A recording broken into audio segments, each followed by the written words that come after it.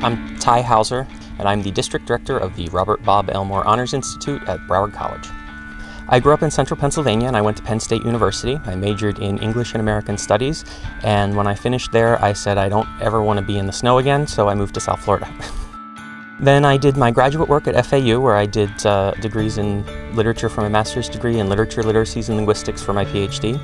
And the more I started to study literature, the more I started to realize that it really was about life. Um, studying literature is studying culture, it's studying people, it's studying history, um, it's studying yourself. And I learned more about myself as, uh, as an undergraduate than I learned maybe even about the literature I was reading.